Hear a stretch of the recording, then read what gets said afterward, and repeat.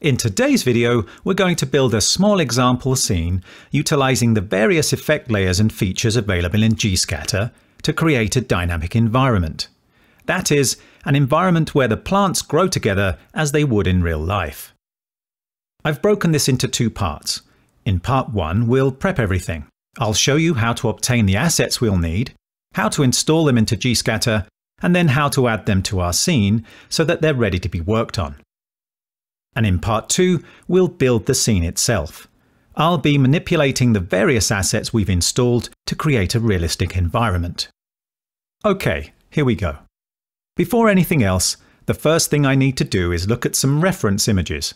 For this scene, I want to create a typical field meadow, so I'll be using photos taken on one of the famous Graswald scanning trips. If you want these photos, there's a link in the description.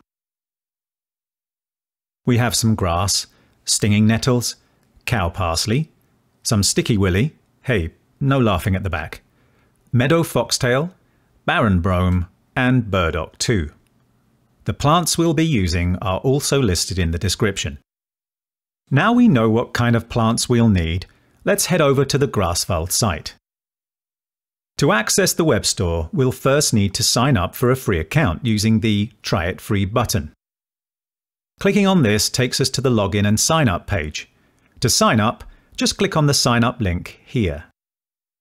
Either use the sign up with Google option or enter a valid email address. And a password. And then click on continue. You'll be sent a confirmation email to the address you supplied. In the meantime, on the next page, you just need to fill in a few details that tell us a little about yourself and then click on Continue. The last stage of sign up is to create a workspace.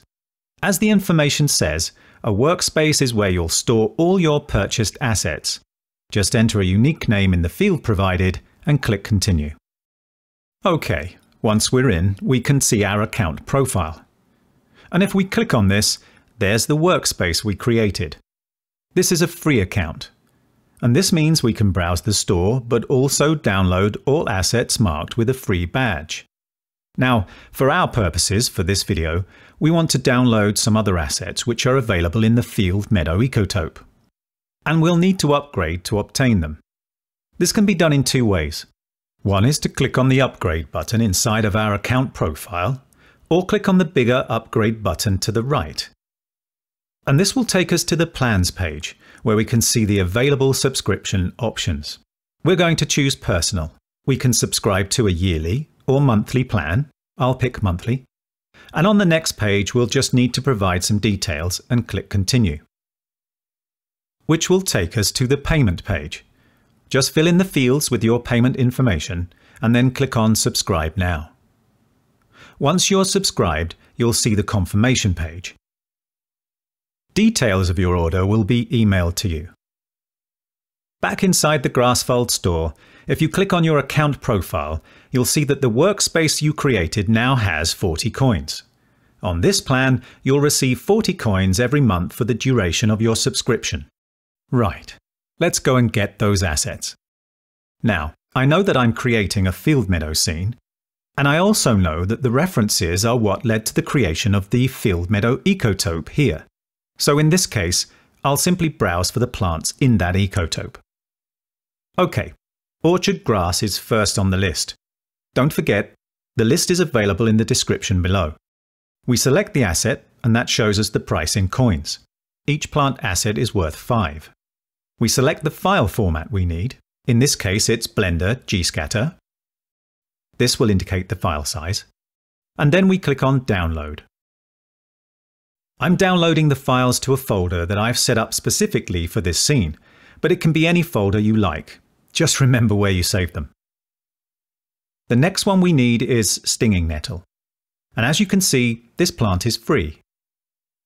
As before, we make sure the Blender Gscatter option is selected and click on Download. We'll just work our way through the list until we've downloaded all the assets on it. Bear in mind that there are two versions of Great Burdock available in the store, a big and a small variant, and you'll need to download both of these as indicated here for the scene. Once we've got all the plants we need for the scene, we'll launch Blender and open up the G-Scatter interface by pressing on the N key. For this scene, we'll add a plane that we'll use for arranging our assets onto. We'll scale it up a little. We'll add some subdivisions. And then we'll make that plane into an emitter by clicking on the G-Scatter emitter dropdown and selecting it from the list. Now, nothing else happens yet because we have to install the assets that we've just downloaded. We do this by clicking on the library icon, which opens up the G-Scatter asset browser. Ordinarily, when you install the G-Scatter add-on, it comes with a few free assets. However, for the purposes of this tutorial, I've cleared everything out so that we can more easily see what's going on. So, to install our downloaded assets, we click on the Install Assets button. We navigate to where we placed our downloaded files. We select all of the downloaded files and click on Install. Once that's done, if you open up the G-Scatter asset browser again, you can see that all the assets we downloaded have now been installed. You'll also notice that there are more than the eight plants we downloaded. Well, there are eight plants, but each asset comes with some variants such as big, small, or dead and so on. This means we can add even more variety to our scenes, for added realism. OK, before we move on to part 2 of this tutorial, the only thing left to do is add the assets to our scene. We can do this in one of two ways. If you click on the name of an asset, you'll see we get some options. I've covered presets in a previous video, but level of detail allows you to choose how detailed you want the asset meshes in your scene to be, with 0 being the highest resolution and great for detailed close-up views, and higher numbers being a progressively lower resolution, which is perfect for assets that are further away from the camera and don't need to be viewed in detail. We also have two buttons. The first is Scatter Selected, which scatters the selected asset using some default settings onto the emitter we've chosen.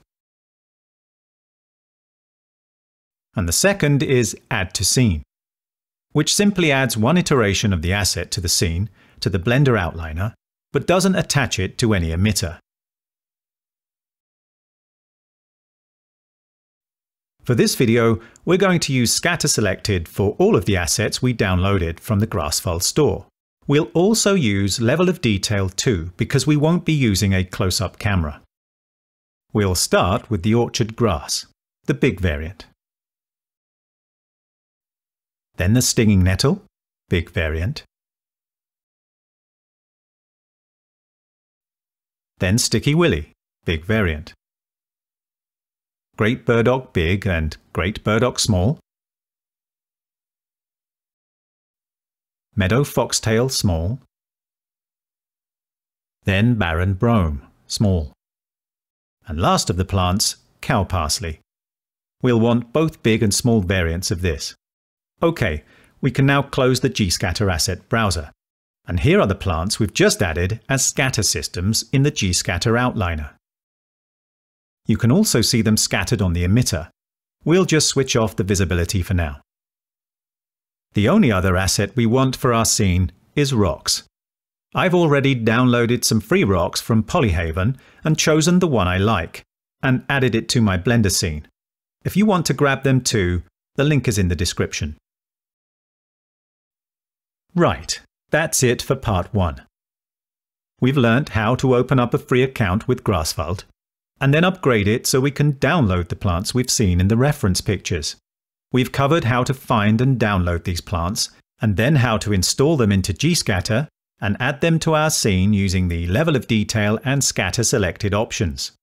In part 2, we'll build the scene using effect layers to closely match how real plants grow in a typical field meadow. Thanks for watching.